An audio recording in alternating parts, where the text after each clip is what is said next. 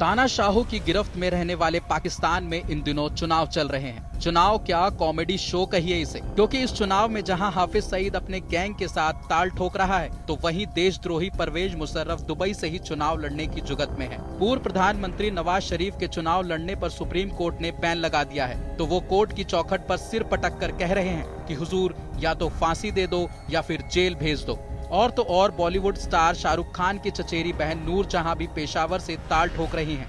इन सब के अलावा एक और दिलचस्प खबर ये भी है कि इस बार करीब तेरह ट्रांसजेंडर समुदाय के सदस्य पाकिस्तान में चुनाव लड़ेंगे अखिल पाकिस्तान ट्रांसजेंडर चुनाव नेटवर्क ने इसकी पुष्टि की है। पाकिस्तानी अखबार डॉन के मुताबिक, ट्रांसजेंडर नेताओं में नायाब अली और लुबना लाल पाकिस्तान तहरीक इंसाफ गुलाई के टिकटों पर चुनाव लड़ेंगे, जबकि बाकी 11 उम्मीदवार निर्दलीय के रूप में हिस्सा लेंगे। इस खबर से पाकिस्तान के लोग गुस्से से बेकाबू हो गए हैं।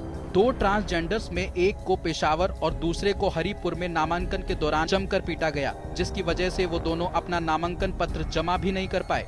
बता दें कि पाकिस्तान की संसद में कुल 342 सीटें हैं। जिस भी पार्टी को एक सौ बहत्तर सीटें मिलेंगी, वो सरकार बनाएगी। और अगर किसी भी पार्टी को पूर्ण बहुमत नहीं मिलता है तो वो छोटी पार्टियों के साथ गठबंधन करके सरकार बना सकती है।